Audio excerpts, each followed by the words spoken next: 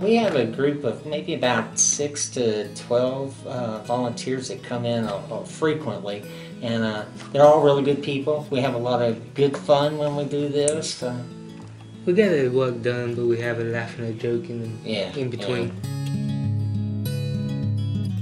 Some of these other people, you know, they're all clients here at the agency too, so uh, Yeah. we're all kind of dealing with the same thing, and uh, it, it's nice to see. Plus, it's a it's kind of a diverse group. There's not a lot of us, but you know, we have a little bit of everybody now that's helping, so that's always good.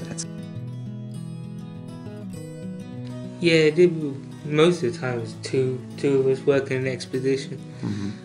So you know you get company doing it. If one person doesn't know the information, the other person will. Oh, okay. Sometimes when we have really busy uh, events too, it's good to have two people so we get twice as many people we talk to.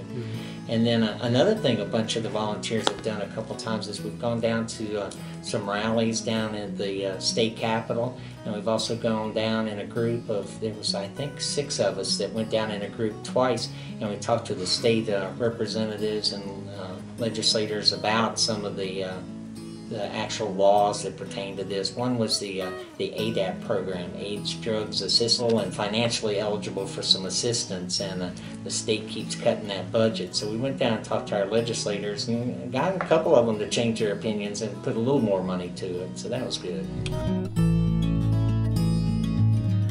Yeah, Catawba Care's been around for 10 years now. We started off in another building over on Camden, just uh, near Winthrop University, and we moved to this new location here across from Social Security just a year and a month ago Yeah. because we had our uh, 10 year anniversary and our grand opening here last year. We deal with people in York, Chester, and Lancaster counties. We're even uh, got some clients from Mecklenburg County now that we help. Try and push as far as we can go. oh for sure.